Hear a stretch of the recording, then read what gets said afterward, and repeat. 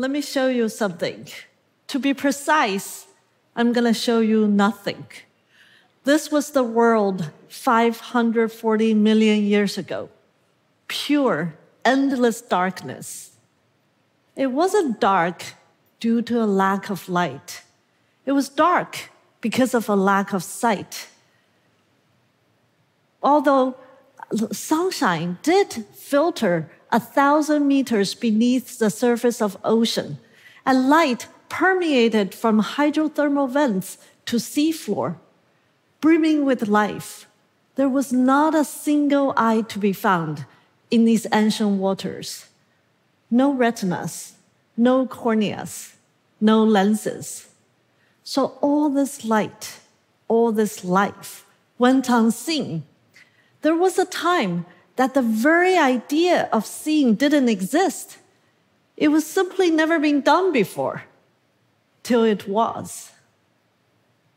So, for reasons we're only beginning to understand, trilobites, the first organisms that could sense light, emerged.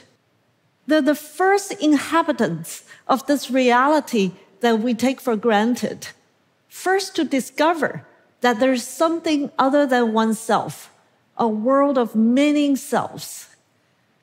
The ability to see is thought to have ushered in Cambrian explosion, a period in which a huge variety of animal species entered fossil records. What began as a passive experience, the simple act of letting light in, soon became far more active. The nervous system began to evolve. Sight turned into insight. Seeing become understanding. Understanding led to actions, and all these give rise to intelligence. Today, we're no longer satisfied with just nature's gift of visual intelligence. Curiosity urges us to create machines to see just as intelligently as we can, if not better. Nine years ago on the stage, I delivered an early progress report on computer vision, a subfield of artificial intelligence. Three powerful forces converged for the first time. A family of algorithms called neural network, fast, specialized hardware called graphic processing units or GPUs, and big data like the 15 million images that my lab spent years curating called ImageNet. Together, they ushered in the age of modern AI. We've come a long way. Back then, just putting labels on images were a big breakthrough. But the speed and accuracy of these algorithms just improved rapidly. At the annual ImageNet challenge led by my lab gauged the performance of these progress. And on this plot, you're seeing the annual improvement and milestone models we went a step further and created algorithms that can segment objects or predict the dynamic relationships among them in these works done by my students and collaborators. And there's more. Recall last time I showed you the first computer vision algorithm that can describe a photo in human natural language. That was work done with my brilliant former student, Andrej Karpathy. At that time, I pushed my luck and said, Andrej, can we make computers to do the reverse? And Andrej said, haha, that's impossible. Well, as you can see from this post recently, the impossible has become possible. That's thanks to a family of diffusion models that powers today's generative AI algorithm, which can take a human prompted sentence and turn, turn them into photos and videos of something that's entirely new. Many of you have seen the recent impressive results of Sora by OpenAI. But even without the enormous number of GPUs, my student and our collaborators have developed a generative video model called Walt months before Sora. And you're seeing some of these results there is room for improvement. I mean, look at that cat's eye and the way it goes under the wave without ever getting wet. What a catastrophe. And if passes the prologue, we will learn from these mistakes and create a future we imagine. And in this future, we want AI to do everything it can for us or, or to help us. For years, I have been saying that taking a picture is not the same as seeing and understanding. Today, I would like to add to that. Simply seeing is not enough. Seeing is for doing and learning. When we act upon this world in 3D space and time, we learn and we learn to see and do better. Nature has created this virtuous cycle of seeing and doing powered by spatial intelligence. To illustrate to you what your spatial intelligence is doing constantly, look at this picture. Raise your hand if you feel like you want to do something. In the last split of a second, your brain looked at the geometry of this glass its place in 3D uh, space, its relationship with the table, the cat, and everything else, and you can predict what's going to happen next. The urge to act is innate to all beings with spatial intelligence, which links perception with action. And if we want to advance AI beyond its current capabilities, we want more than AI that can see and talk. We want AI that can do. Indeed, we're making exciting progress. The recent milestones in spatial intelligence is teaching computers to see, learn, do, and learn to see and do better. This is not easy. It took nature millions of years to evolve spatial intelligence, which depends on the eye taking light project 2D images on the retina and the brain to translate these data into 3D information. Only recently, a group of researchers from Google are able to develop an algorithm to take a bunch of photos and translate that into 3D space, like the examples we're showing here. My student and our collaborators have taken a step further and created an algorithm that takes one input image and turn that into 3D shape. Here are more examples. Recall we talked about computer programs that can take a human sentence and turn into videos. A group of uh, researchers in University of Michigan have figured out a way to translate that line of sentence into 3D room layout, like shown here. And my colleagues at Stanford and their students have developed an algorithm that takes one image and generates infinitely plausible spaces for viewers to explore. These are prototypes of the first budding signs of a future possibility, one in which the human race can, can take our entire world and translate into digital forms and model the richness and nuances. What nature did to us implicitly in our individual minds, spatial intelligence technology can hope to do for our collective consciousness.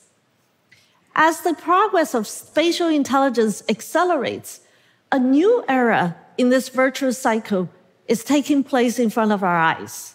This back and forth is catalyzing robotic learning a key component for any embodied intelligence system that needs to understand and interact with the 3D world. A decade ago, ImageNet from my lab enabled a database of millions of high quality photos to help train computers to see. Today, we're doing the same with behaviors and actions to train computers and robots how to act in the 3D world.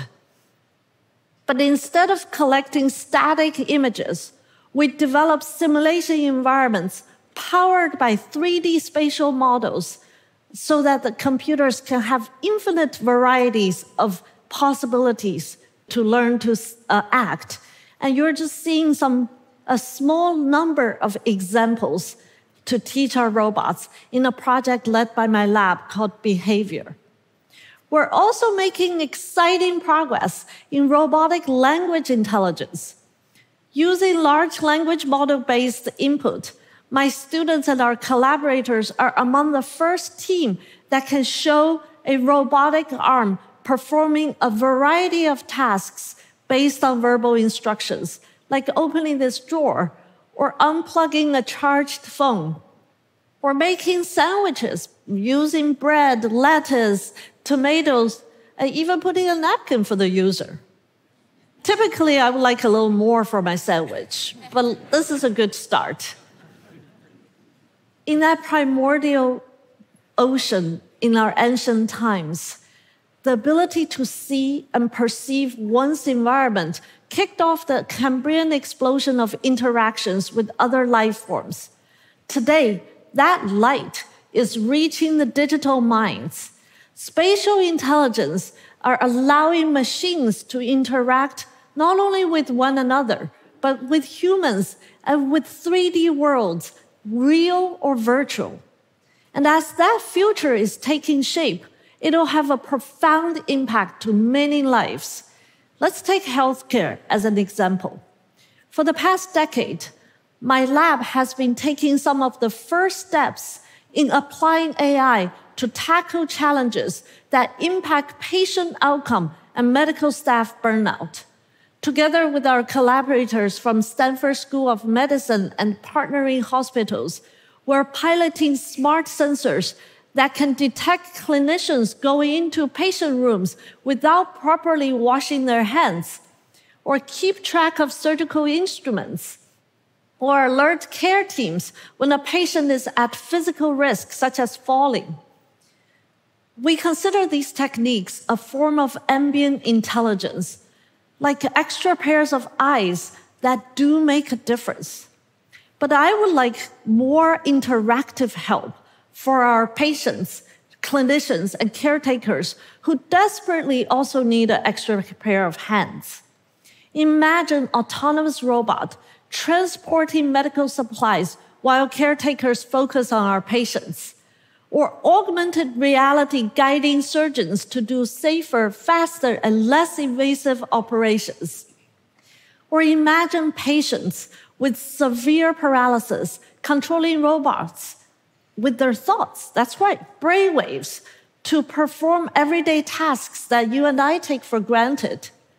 You're seeing a glimpse of that future in this pilot study from my lab recently.